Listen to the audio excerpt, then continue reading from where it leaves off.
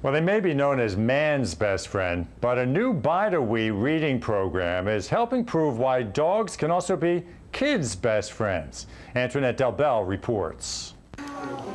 Have you seen my dog training book? asked Arthur.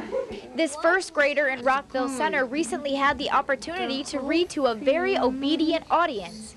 He got to read to a dog.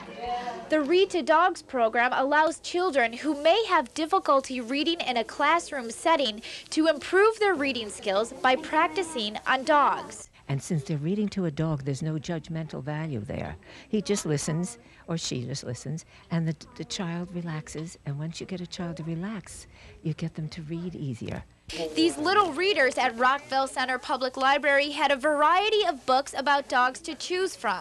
This first grader says she likes reading to the dogs because she thinks the dogs enjoy the stories. There's a lot of books about dogs over there, and they might want to listen to them because it's like, it. I think it feels like they're in the book. And Brenner says not only do children love the program, dogs like Johan here love it too.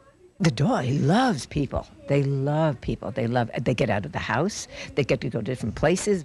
These dogs were all rescued by the Bide-A-Wee Animal Shelter in Wantagh, then trained and adopted, and now serve as therapy dogs.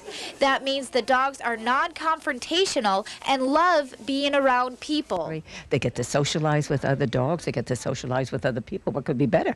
You know, it's the best thing in the world for them. In Rockville Centre, Antoinette Del Bel, LI News Tonight.